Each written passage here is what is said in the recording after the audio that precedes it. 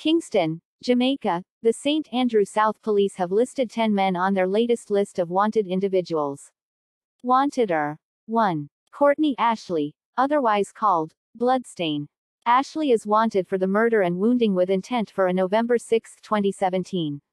The incident was committed on Fenbrook Avenue, Kingston 20.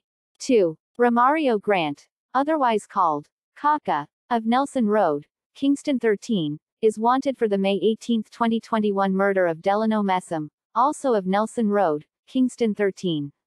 3. Ronald Smith, otherwise called Pop Skull, and White Knight, is wanted for the wounding with intent from an incident involving Daniel McGrowder, committed on Monday, April 15, 2022 at Ashley Road, Kingston 13 4.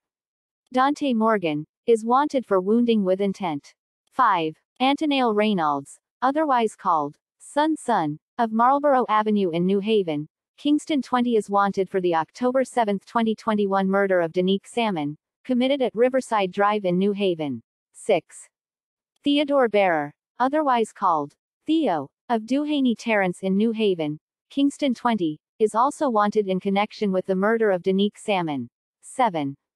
Raheem Brown, otherwise called Berger, of Crescent Road, Kingston, for the offense of assault at common law with use of a firearm and the March 2019 murder of David Jackson on Joseph Road, Kingston 13. 8. Jermaine Richards, otherwise called Reechie, of a Penn Road address is wanted in connection with the May 2020 murder of Eswick Lawson. 9. Albert Mitchell, otherwise called Ballie, of Anderson Drive, Riverton Meadows, Kingston 11.